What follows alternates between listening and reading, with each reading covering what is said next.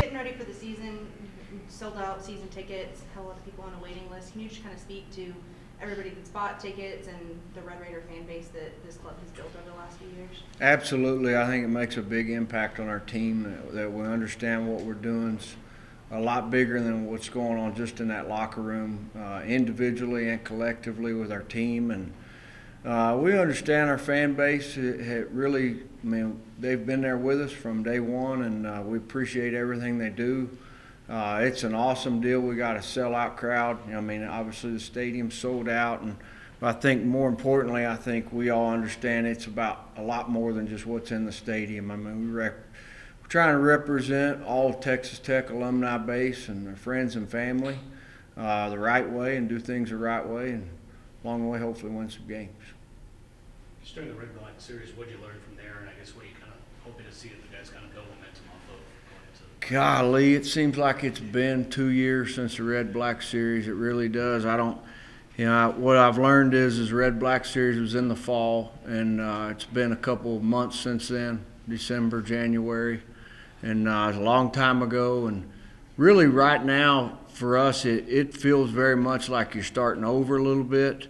Uh, first team practice today. We've been in individuals and. Uh, but we're excited. I mean, we're excited about these two guys up here, Davis and Josh, and the whole group collectively, and uh, excited about the opportunity to go compete. And uh, also, I think this group understands you got to go earn the right to win, and, and to do that, you better compete each day. And I don't know if I answered your question, but Red Black Series again, I, I don't know if I could tell you who won. I'd have to go look it up on a computer, and uh, I would bet on uh, anyway, needless to say, I won't even go there. But it was, it is a, it was a while back, and at the same time, it's uh, you know, really it's it's exciting. Get started this spring. Guess in terms of Davis and Steven and kind of Ryan and everyone, I guess how, how are you kind of seeing the pitching rotation uh, kind of shoring up there, and then as- along with the relievers? I think that'll all evolve as we go here. I mean, we've really got some time to, for that to establish. If I had to say right now, it'd be Davis Martin, obviously, and Stephen Gingery, and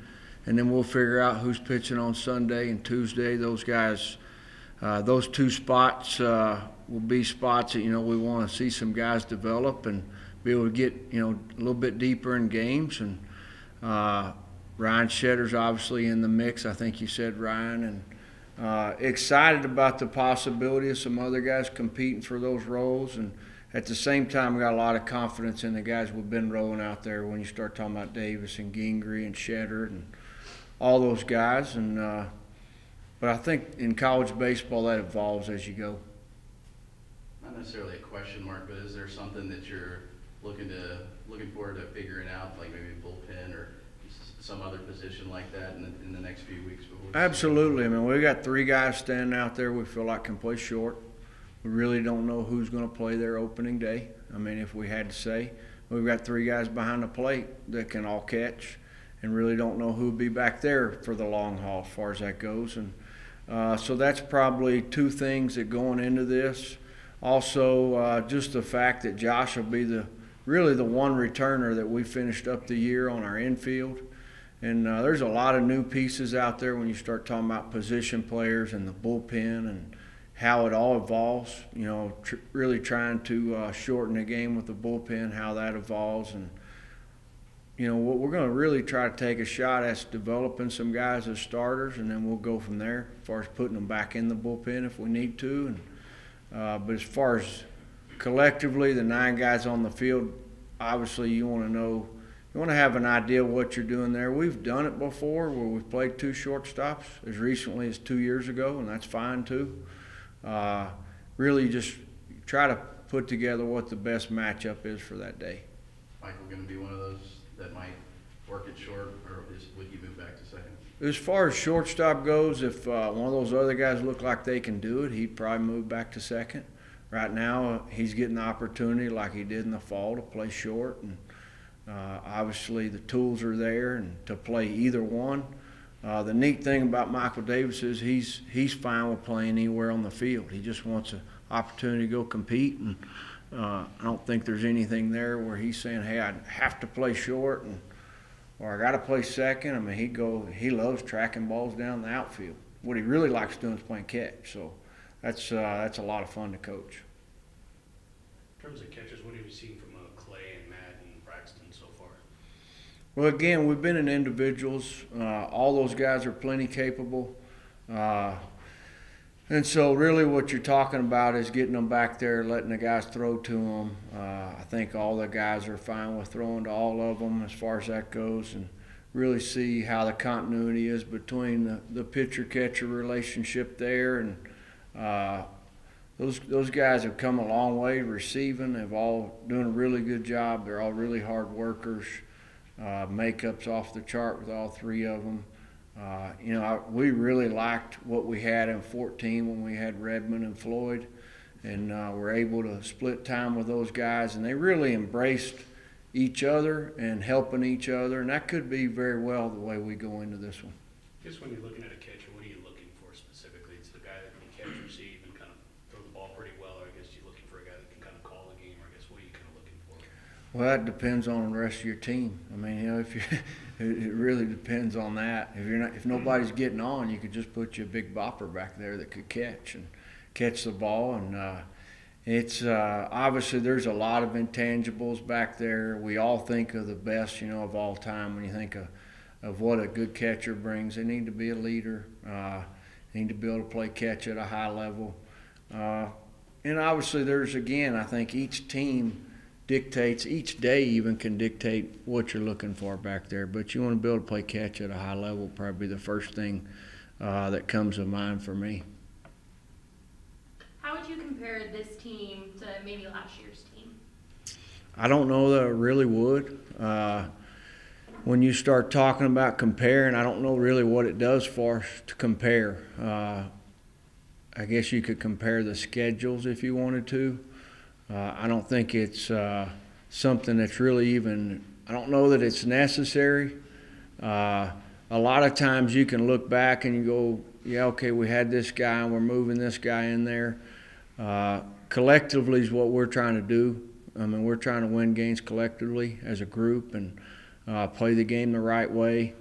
Uh, if I had to compare, we're talking about a lot of people. You're talking about Tanner Gardner, Ryan Long, Mashinsky, and I'm going to leave some guys out there. You see what I mean? So Hargrove, Garcia. Uh, that'd be a longer press conference than we're probably ready for. Uh, but I can tell you this: there's plenty, there's plenty ability and talent in our locker room to do whatever these guys set their mind to. But uh, I think also there's uh, there should be an understanding in there that not one guy can do it. I mean, you got to do it collectively. You got to go play the game the right way. It's just kind of the way our game's built. I mean, it's it's a one-on-one matchup, but you got to do you got to do a lot of things as a team the right way. Who are the, who are the guys that are battling for time at first? Uh, you know, we could move a lot of guys over there. Really anticipate Cameron Warren being our guy over there. Cameron had a really good summer. He's healthy for probably the first time since he's been here. Uh, if it's not Cameron, like Beck's playing over there today, he probably doesn't even know that right now as we speak. He hadn't taken a ground ball over there since we've been back, and uh, but he played some over there in the fall, and that's for the sake of an inner squad having a guy over there, and but really anticipate uh, Cameron being able to drive some runs in and play first.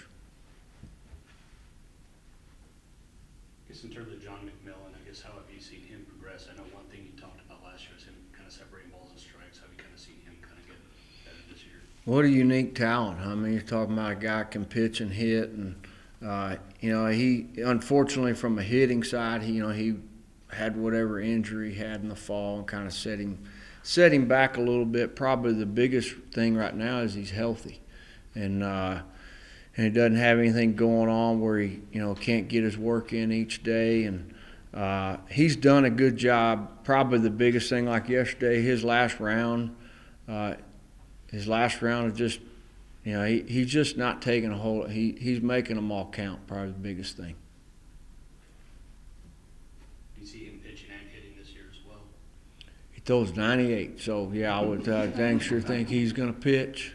Uh, we're actually he's starting the inner squad today, and he's a guy that if uh, he can go establish the fastball, he'll be in a rotation without a doubt. You mentioned y'all schedule earlier. You've got a lot of really strong non-conference opponents this year. Is there any one team you're looking forward to playing the most this year? Probably the biggest thing is that we're really excited about is our team. Uh, we get excited about playing every day. We really like baseball is a unique game. You have to respect your opponent. You got to respect the game. Otherwise, a lot of uh, crazy things might happen as far as that goes. Uh, we open up with Maine, so we need to be excited about those days as far as that goes. But the body of our schedule, there is some challenging stretches in there. I'd probably be. Uh, it wouldn't be right to say, you know, we're our Big 12 schedule is as challenging as a. I mean, our league's a really good league, and we're always excited about going playing those league games. And uh, but our non-conference schedule also, there'll be a time to talk about that. But uh, what we really, I mean, we set out to do this a long time ago. It feels like a long time ago. Was to uh, have people come watch our games because of what we're doing and have guys, you know, we don't really want you to be able to leave your seat. I mean, we want you to be having to sit there and watch Davis and Josh swing the bat and pitch, and uh, those guys. That's really what we're shooting out to do is go go play the game the right way. I mean, like not answer that exactly right, but uh, yeah, I, I, am excited about inter squad. I mean, we we're going to inter squad at 4:15, and the doors are open now, and so we're, we get excited about playing no matter what day. And I think that's been something about our guys is they understand that you need to play the game the right way no matter what day you're playing. Uh, and then obviously there's times where you you know there's there's times where you need to seize the day a little bit, and uh, that'll be fun trying to do that also. Anything, I mean, I know he's been on staff anyway, but anything different with Matt as pitching coach? I mean, that you've seen with the pitchers or anything like that? Well, uh, no, I hadn't seen anything really different. I mean, both guys are still on staff. Uh, there's a lot of communication between Ray and Matt, uh, Matt and our staff, our staff and Ray. All that's uh, still in place as far as communication goes. I think time will tell on that. Would really like again like to see some guys. Uh, I mean, we obviously we like to have three or four established starters. I mean, like to run four guys out there just like Gingery hey, this guy's going to be all you want today, and that's what we're looking forward to seeing. Kind of touching on coaches real quick. Uh, what is it you think it means to have Hunter Redmond be able to join the staff? Our guys really like Hunter. They, I don't know exactly what they call him. What do y'all call him? Hog. Hog. They call him Hog, and he's uh, you know, he, he's a lot of fun to have around the clubhouse. He's seen a lot of Big 12 baseball, seen a lot of baseball. Uh, we've said it before. This program means a lot to Hunter. Uh, these guys mean a lot to Hunter. Uh, playing the game the right way means a lot to Hunter. He, he's the right guy to have. So with the way last year went, I guess is it just nice to be back healthy? Oh, absolutely. I mean, during that injury, not being able to play catch for a little bit, I mean, all I wanted to do was play catch. So uh, it gives me a new aspect of you know just coming out here like a scrimmage today most juniors, this is going to be like a, just kind of walk in the park, walk through. You know, I'm excited. I'm ready to go out there and throw these guys. You know, uh, yeah. I mean, I think it just gave me a different outlook on uh, everything that I get to do day to day. You kind of mentioned in the summer that you didn't really throw as much. How much did that help you in terms of just maybe having your arm a little bit rested? No, uh, everything. I mean, I've been able to take two months off in the summer, like you said, and then uh, I've been throwing seven days a week since. I mean, my arm's in shape, my arm's feeling great. You know, um, it was huge added anything to the to the pitching repertoire? No, same, same. You know, be singing the ball. You know, trying to go both sides of the plate, change up, working in and around, and then uh, curveball uh, occasionally. I mean, it's going to be same as we've been doing the whole time. So. Now you you've worked with Clay a couple years now, and obviously you have the ball. But what's it like working with a new catcher back there, specifically right now? You guys with uh, three different guys you're going to be dealing with. Well, actually, I threw to Clay every day in the fall. Every time we have it in inter squad, I might have thrown to Zane once, Berg once, um, and Zane. I, I think every almost every start I was with him, or with Clay, excuse me. And then I, so I think, I mean, we're on the same page all the time. He knows what I want to throw. Uh, he knows where to line up, you know, behind the plate for setting up pitches. You know, I mean, I don't think we're going to miss a beat. How about behind you in the infield? I mean, I know you got Josh there and, and Michael will be there. I mean, Klein even. But does it seem like a, a different group at all for you guys, or? Uh, not too much. I mean, like we had all fall to get used to each other. I mean, that's when we're kind of feeling everybody out, uh, who can do what. I mean, they can expect a bunch of ground balls from me, so obviously I have to work uh, very well with them. But like I said, we've had all fall to fix those kinks, and I think uh, this is kind of just we're really starting to get ready to go. So this isn't the time to kind of figure people out. I think we're all ready to go in that aspect. What expectations do you have for yourself returning this season? Um, you know, I mess with Gingery all the time. Uh, told him I'm gonna be better than him. You know, I mean that's that's what you're gonna get out of the rotation this year. I mean we have five, six, seven guys that, like Tadlock said, could start. I mean we're all competitive. We all like to compete with each other, and uh, competitiveness b- between us is just gonna make us better on the field. So uh, we're all excited to get ready uh, to go um, and try to be better than Ging.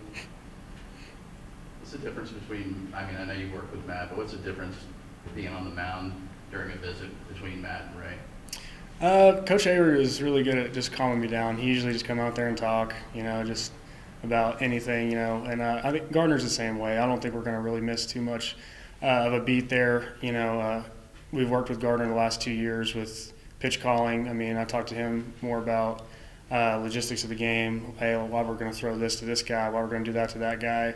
Um, and then again, Hayward's still around to help me with my mechanics and other aspects that I need help with. So I think it's it's really good. I mean, it's worked great so far.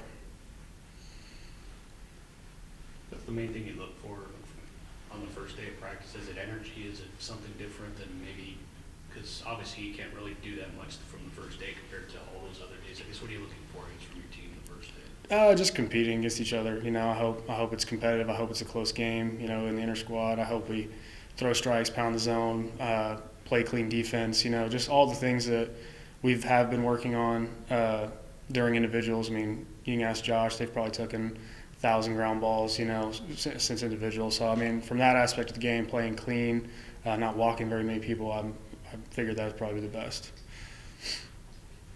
Kind of what have you seen from uh, John McMillon in terms of just watching him pitch, or I guess have you seen him get better, throw stronger, hit better?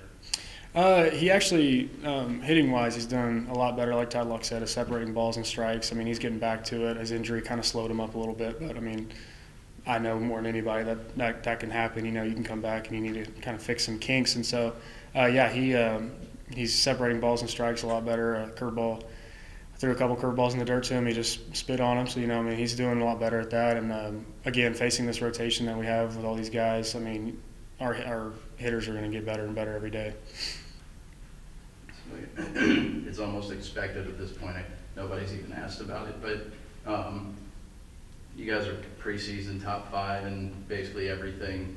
Uh, What is the feeling in the locker room with all the praise that you guys are getting going into the season? Uh, I mean, it's it's probably cool for the freshmen to be like, well, I'm on a top five team. You know, I got to do that freshman year, uh, but I, I mean, having Sam Houston beat us on our own place, it's a real kick to the stomach. I mean, all the juniors, especially because freshman year we pretty much did everything we wanted to do. Uh, kind of ran through the Big 12 pretty well. I mean, we went through our regional, super regional, and we made it to Omaha. So we thought that's how it is every year, you know, and that kind of just brings new energy, new focus for at least all the juniors, and I think that trickles down to the sophomores because I mean they had experience that last year too, and I think the freshmen are kind of having that same feeling. So um, yeah, I mean we're just ready to get going, man. And like Tadlock said, we're not really looking forward to any certain series. We're not looking forward to TCU. I mean, we got to play Maine first. We got to beat them four times and then move on to the next person. So um, yeah, taking it day at a time for sure.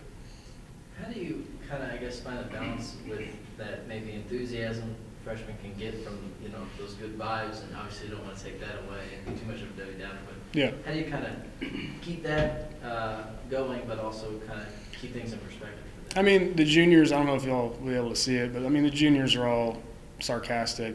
You know, we joke around. We like to have fun because that's how the juniors were when we were freshmen. Juniors and seniors. I mean, they had a great time. They knew to have fun. Like, I mean, baseball is a game where if you're serious 24/7, it's going to be tough to play. Um, so I think we've tried to mimic that from Stephen Smith, from Ryan Mosley, Neslony, all those guys, where in between games, like yeah, we're having a great time in the dugout, we're having a good time, but like hey, when it's when it's your time to go up and perform, you got to go up there and perform. You got to get serious. You got to go. Um, so yeah, from that aspect, I think I think we're trying to get the freshmen to understand that like there is a time and place to have fun, and then there's a time and place to be serious and get things done. Know Coach Tadlock doesn't like to look back a lot, but how much do you feel like you guys will look back towards that regional against Sam Houston just to kind of remind you of what can happen if you don't? I think that was mostly the fall. I think everybody kind of understood, like, okay, this is where we're at with that. I mean, it's a new season. You can't think about last year.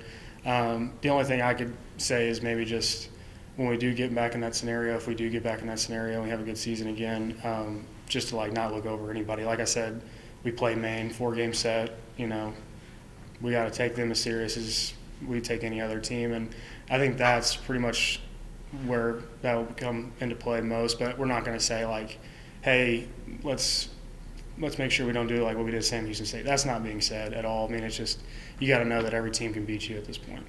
Josh, we'll start with the, the same thing I, I asked him. It's kind of expected around here. You were actually in the stands when they advanced to the College World Series, so you, you enjoyed that as a fan, and then you had to go through the frustrations of last year.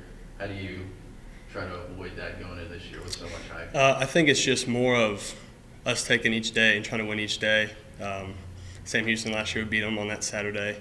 Had to play them twice. It's always hard to beat a team twice, and then I guess a little doubt set in on that Monday. But I think it's more just trying to take each day at a time, focus on that on that opponent that day, and not try to overlook anybody. How many ground balls do you think you fielded so far? talking about life or just this year? Oh, just, just, just during. just this year and individuals, man, it, it's ridiculous if you think about it. Probably 100, 200 a day. We're just trying to knock out all the kinks, get ready. It's going to be fundamentally sound when the season comes. It's gotten to a point where you remember the ones you fumbled compared to the ones you kind of make the play. Oh, yeah, we always compete with each other. Who misses the most that day pretty much gets ragged on the most. But, I mean, I try not to miss any. I know that's everybody's goal pretty much. So we just make it a competition between ourselves. No coach uses the term competition. I guess how do you kind of see the competition around the infield? Because I know obviously you've kind of at least earned your spot from what he said a couple times. I guess where, where do you kind of see everyone else on the infield? I just like watching them compete, going out there every day, trying to win that spot. Um, there hasn't been a day yet where someone gone out there lackadaisical. It's always high intensity, just going out there to try to compete and win that spot.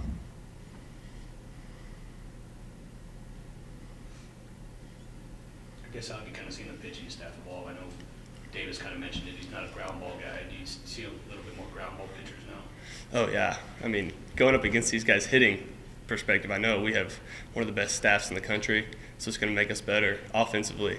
But then when we're competing and they're getting us out, I mean a lot of ground balls, trying to keep the ball on the ground because we can make plays with pretty solid defense behind our pitchers. Out of all the underclassmen, I guess who have you kind of seen step up so far?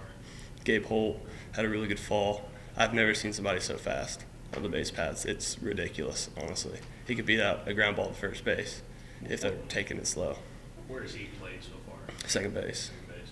I guess uh, what what's kind of helped him along with the speed? Is that a good thing for his range? I guess what, what else what else have you kind of seen from him from a defense? He's got a good glove. He goes out there and competes every day, just like everybody else in the infield. But I just really like watching him play, watching him get on the base paths and get a single, and it's pretty much either a double or triple every time, just because he can steal second, steal third.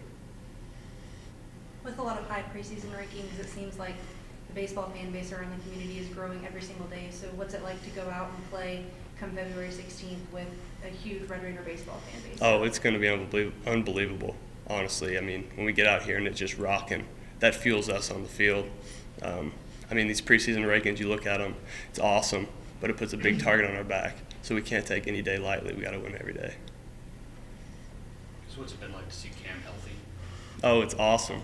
Just that guy, he's played with a few injuries, shoulder, and then tripped up against Arizona hurt his shoulder again. Uh, seeing him healthy is awesome.